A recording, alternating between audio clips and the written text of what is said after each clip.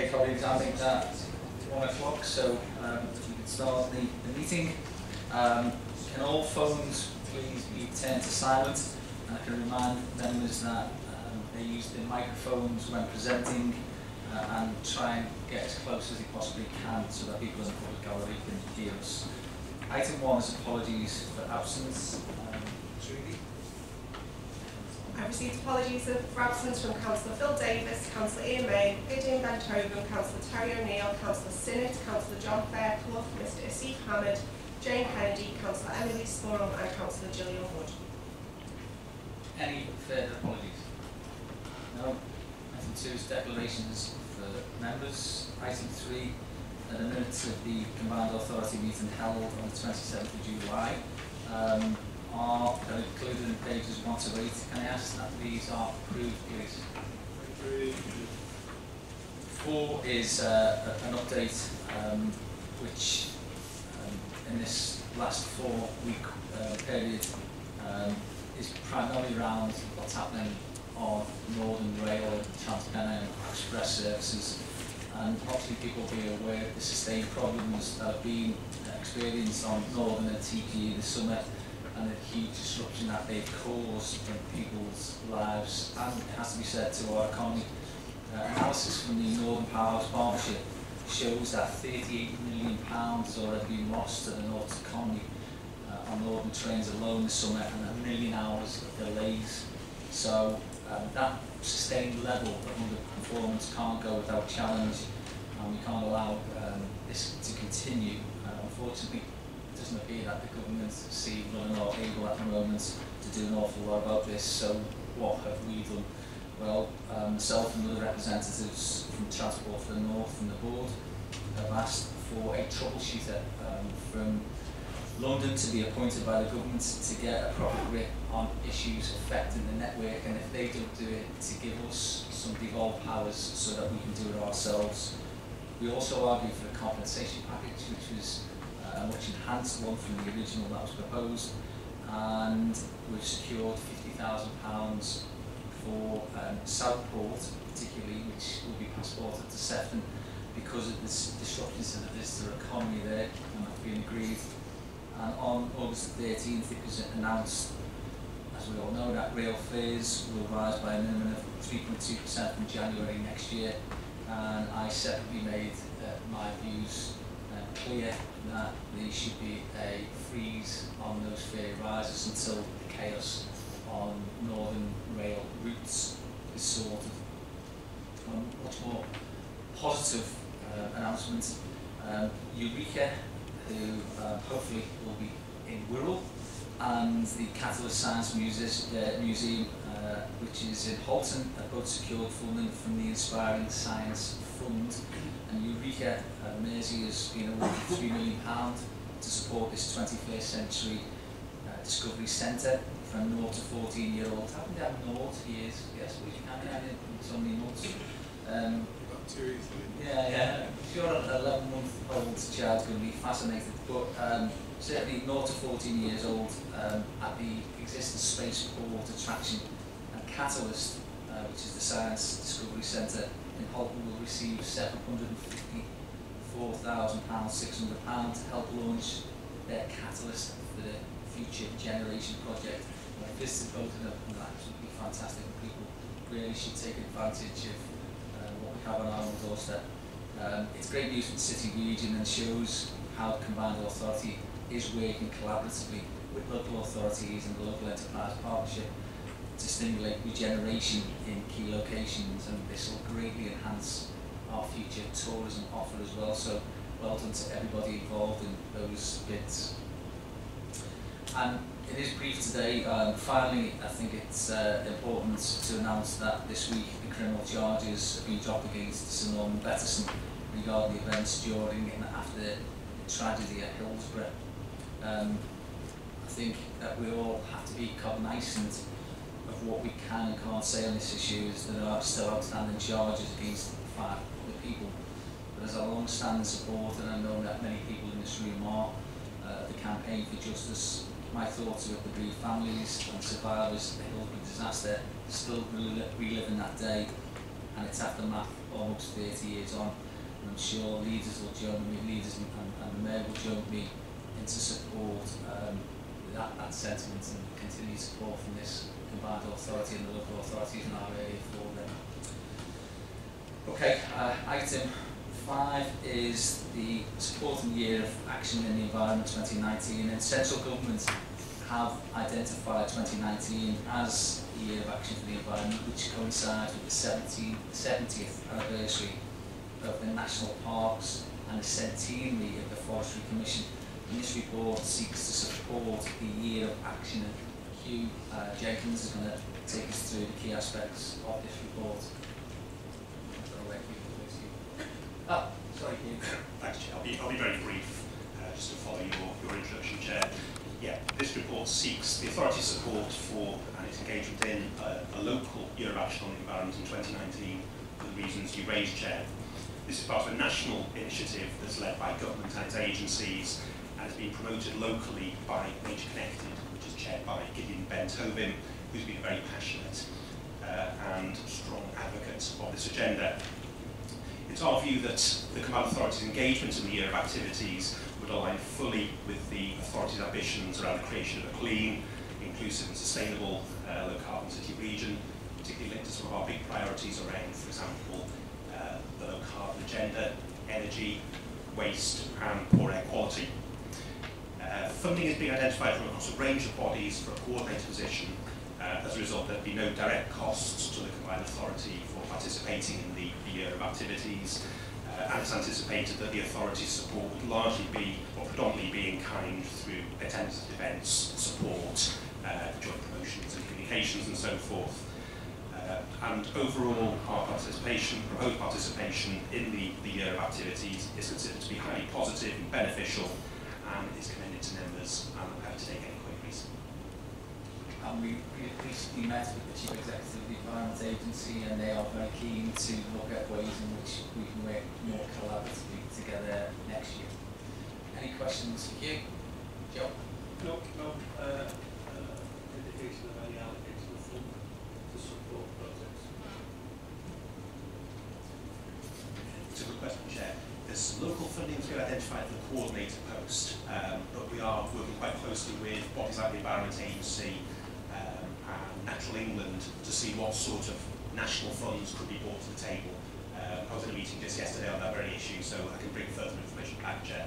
But we are trying to pursue additional funding sources in addition to the, the in-kind support I mentioned. It's, uh, if, if, if clearly we want to involve the, the schools and kids and do projects within the boroughs or whatever, uh, uh, we need some, uh, some fund that was created to promote initiatives and stuff like that, without any core fund. So we need to put a bit of pressure on the environment agency saying, well, hang on, if we, even if we put up hundred thousand in or two hundred and fifty to whatever, the figure can be maxed, we might sort of put something in, make a contribution to the finance, can we make sure that it's maxed? when meet, um, I'm, aware that this has been recorded, we, we did suggest that a good thing if they were to contribute towards uh, an overall pot and uh, negotiations are still ongoing, Joe, but you can imagine that, uh, fingers crossed, we might be able to announce something. That will go beyond two thousand nineteen. Indeed, indeed, yeah. Uh, any further questions for you? Okay, um, all the recommendations are set out on page nine and agreed in the report. Agreed. Six is the uh, City Region Digital Infrastructure Action Plan and it provides us with an, an update on the progress with the development of that action plan. And um, I'll ask John Whaling, who's the lead officer for digital innovation, to take us through the report. Thank you, Chair. Um, yeah, we've reached an important initial milestone in the development of the Digital Infrastructure Action Plan, intended to, to set a roadmap for delivering on the Metro Mayor's ambition, the city region being the most uh, inclusive in the UK uh, for the purposes of economic growth and indeed inclusive economic growth. Um, so, as the Chair says, the purpose of this is a brief update and to seek endorsement for the for the next steps. Um, very brief background. Uh, digital infrastructure critical to, to economic growth. Um, the UK fares very badly in terms of where we are in the European League table of, of full fibre deployment, but there is significant government money to redress that. The city region has a, a number of uh, very significant assets, notably the um, GTT transatlantic fibre cable landing near Southport, the STFC Hartree centre, IBM collaboration, uh, Knowledge Quarter, series of health assets, etc. So against that backdrop, linked to the Metro Mayor's vision, um, there's been work uh, led by consultants over the last uh, seven months to, to translate the, the vision into a framework for, for action. Um, working very closely with all the local authorities, with Merseytravel, significant consultation in each of the boroughs with various stakeholders. Uh, we've now um, identified a series of approaches intended to uh, deliver a so-called super spine, so a, a spine um, of full fibre deployment uh, throughout all six local authorities that is intended to accelerate the local rollout of, of further networks sites, houses, premises.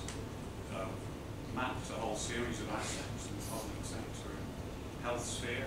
Um, we've uh, undertaken economic modelling um, and are now at the stage where so we have a, an indicative framework um, that we you know, is seeking endorsement to, uh, to, to go into delivering mode. Thank you, Chair. Any questions for John? Laura Paul? Thank you, Chair. Um, excellent news on the tech infrastructure, that's fantastic. And obviously shows like the advantage of working across all the local authorities, combined authorities, so great news on that. Um, but we still obviously have a, an area with 20% of people on online built with skills and access to that, and a lot of small businesses and so on. So I'm just wondering how we can absolutely make sure that in terms of accessibility and inclusivity, we kind of translate that from having that fantastic tech superstructure to actually reaching people and, and getting them the skills they need. Thank you. Um, yes, absolutely, digital inclusion and explicit ambition around this. Um, the super spine is, is the, the first phase, so it's the, the initial phase, but as I've hinted at, it's intended to then um, catalyse activity at a local level to ensure that the benefits um, are uh, rolled out to very local areas. Part of the advantage of the, the, the cooperative-based model um, that in part we're, we're proposing is that it gives greater control with public bodies, with the co-op about where, where those routes are, as opposed to purely relying on the market to go where it best suits it to, to deploy. Um, there, there are, there is work ongoing in parallel around digital inclusion, as you, you, you may well be aware, and, and certainly we're uh, explicitly joining that with this to, to provide a holistic approach, just, just as we are with transport and planning and, and housing. Quite a key point that we're not doing this in isolation. It's, as you said, combined authority seeking to, to do things smarter and joined up absolutely to.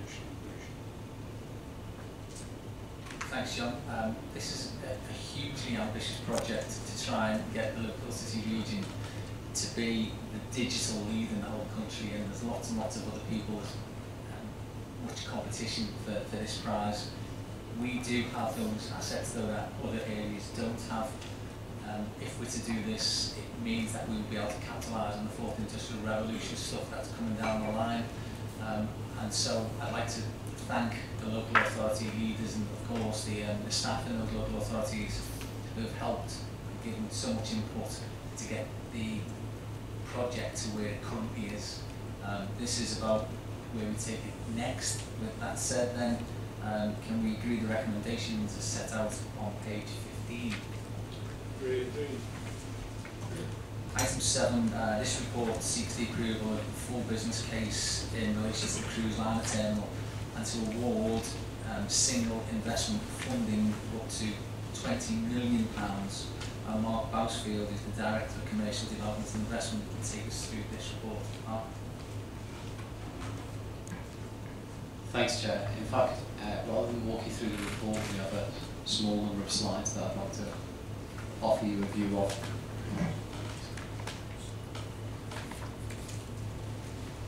So starting with what the project is, we're calling it the cruise liner terminal, but in actual fact the, the project comprises three distinct elements that you may or may not be able to see from your position. On the bottom left is the terminal itself to be constructed um, for a, a total cost of £60 million. Just next to it is a 200 bed four star hotel that will serve cruise passengers as they come onto and off the ship. And about a mile to the north is a multi story car park intended to serve those travelling from outside the city region. When they arrive, they'll park the car at the car park, jump on a bus, be driven down to the terminal, then onto the cruise, and then likewise when they return, the idea is they come through the terminal, they're ferried onto a bus, and then they're driven up to the car park to collect their car and out to the city region. The three parts of the project effectively work together. So onto the rationale, it's clear that from everybody's point of view, this is a transformational infrastructure project that will make a significant difference and have a great benefit for our visitor economy uh, and is fully aligned with the visitor, visitor economy strategy clearly. That one, thank you. And the, there are three key elements from our point of view uh, in, in considering the project. The first is that we're upgrading from a temporary to a permanent facility. The second is that this new terminal will allow larger ships. So the current limit is ships with 1,000 passengers. As this new terminal is developed, we'll be able to accommodate 2,600 passengers per ship. And thirdly, the infrastructure enables the growth of the industry. So whereas in 2007 we had 12 ships arriving in Mersey, this year we'll have almost 70 and the proposal foresees a long-term plan of 140 or so. Right? Here's the first CGI of the terminal. You can see it peeking out. So if the top of the screen is, the, is land and the bottom of the screen is the sea.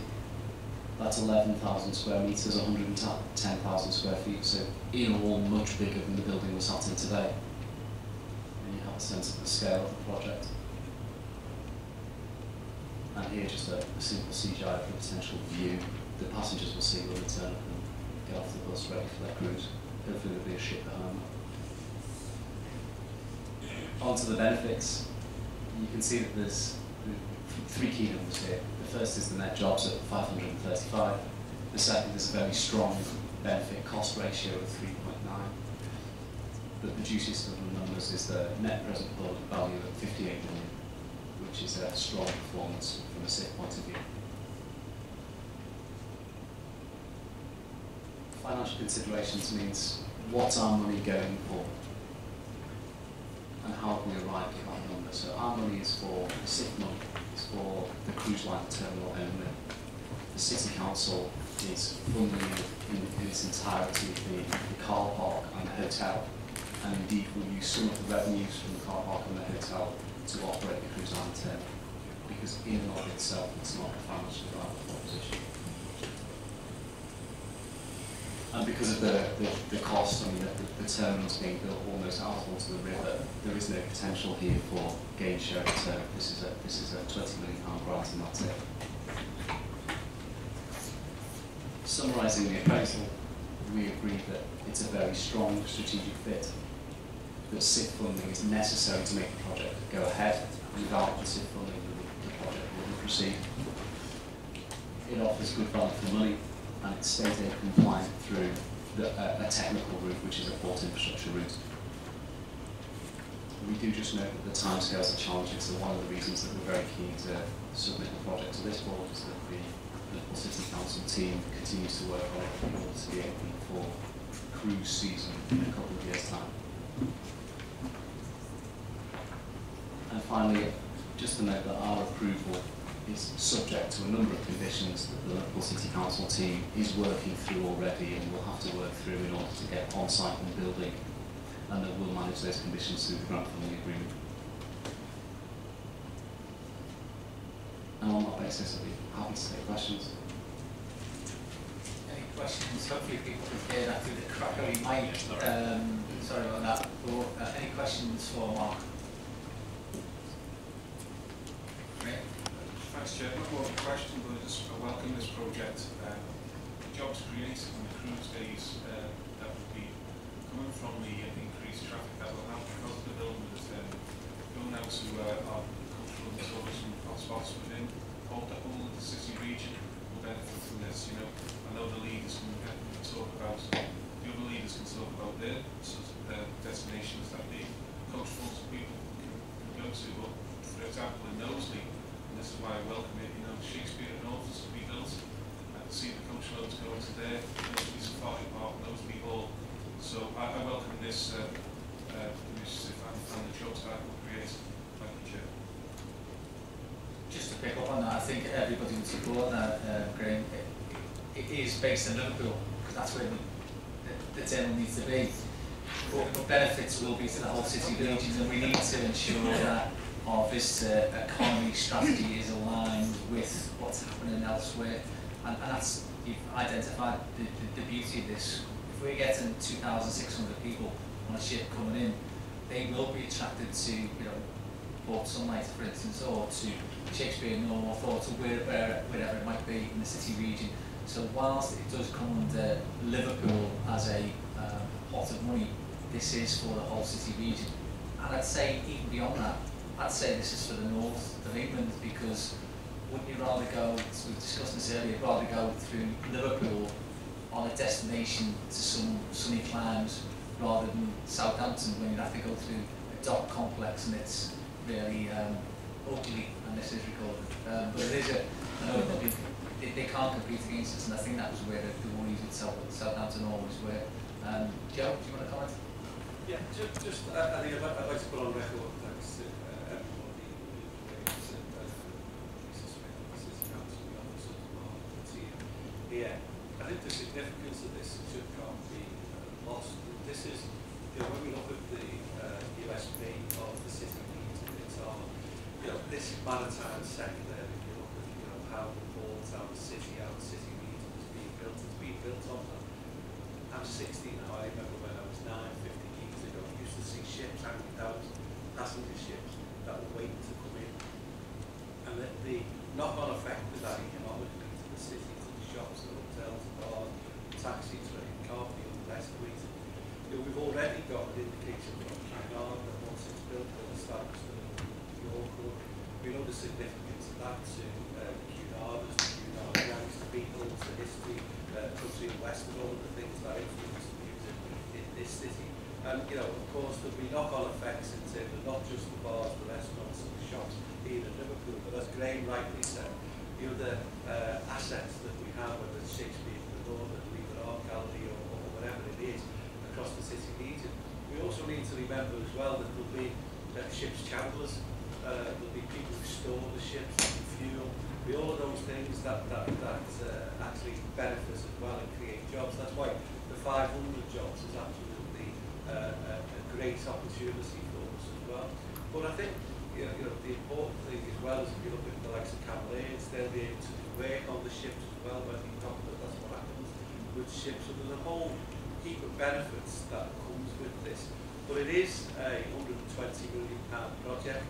Uh, it's absolutely right that the city and the city region support each other in developing our assets, and that's what this is. But the hotel uh, and, and the car park and the facility will be second to none, and hopefully, you know, it's only three years ago, five, well, five years ago, because we've built the temporary terminal. And don't forget, that's what that is, temporary. It was only supposed to last three years, two years. It's already been there four or five years. The fact is, is that the cruise liners used to berth at the Langton dock next to the scrapyard. Now we've got an opportunity to have a turnaround facility into a four-star hotel that people could come and stay overnight and join ships with a turnaround facility. That is what uh, the prize is, and that's why it's great news for the city. The city needs to provide as well. Any comments? No? Um, okay, if we can then agree the recommendations as set out on page 23 of the report. Item eight is, um, it's another one of those quirky ones that we often get, which is whether you want to accept additional EU grants and the extension of existing programmes.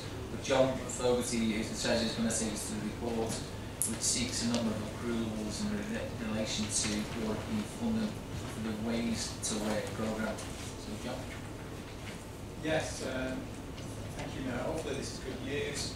Um, it's, it, the report itself is around accepting the further 4.4 million of funding which will facilitate the extension of the existing Ways to Work programme. Uh, that will be distributed through the combined authority to partner authorities uh, based on the schedule you see in table two. Um, technically that will require a variation to the existing funding arrangements, and rather than that, come back to the combined authority. Um, the, the results were a recommendation, if you accept the other recommendations, that's delegated to myself as treasurer to work on those uh, scheme variations. So hopefully, um, I think the main information is contained in table two around the distribution.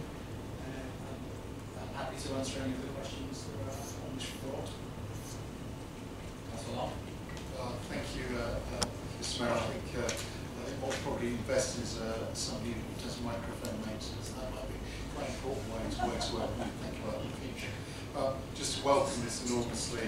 Um, Strategically, this is what this combined authority is about, basically, which is actually creating a structure which can pick up national resources when we're in competition with other places. So this is a big tick for, for the authority uh, specifically on that level. On a more parochial level in terms of St Helens, we have a lot of uh, uh, potential new development taking place in, in, in, the coming years. And on that basis, I, as leader of St Helens, emphasis on inclusive growth. And this is an opportunity for us to make sure that um, what development does take place in St Helens and across the city of can actually be to the benefit of the residents of the city and region and not to other people. So this is great, uh, a, great sort of um, underlying foundation of what we need to do to take it forward. So uh, very, very strongly behind the recommendations. Thanks, Derek. To take the, um, the microphone maintenance part of the, the grant from your portion. um, okay, is everybody happy with that? Yeah. Uh, can we agree the recommendations therefore set out on page 31? Okay, this is, uh, item nine is just really a bit of housekeeping and it's um, to seek approval of the appointment of councillor Jodie Asher from St Helens Metropolitan Borough Council to the Overview and Scrutiny Committee. Can we therefore agree that appointment? Item 10 is public question time, which we haven't received any questions for this meeting. Uh, item 11 is petitions and statements, of which we've not received any petitions or statements for this meeting. 12 is the minutes of the Transport Committee held on the 12th of July 2018. Liam, anything to add? Okay, uh, you can we confirm the minutes of the Transport Committee from the 12th of July? Uh, and 13 is the minutes of the Appointments and Disciplinary Committee, um, which those uh, meetings were held on the 15th of September 2017, the 19th of January 2018, and the 14th of February 2018. Can we agree those minutes? Okay. The next meeting of the command authority will take place on Friday, the 21st of September 2018 at 1 o'clock here in the uh, authority chamber. And with that said, I declare the meeting closed. Thank you for your attendance.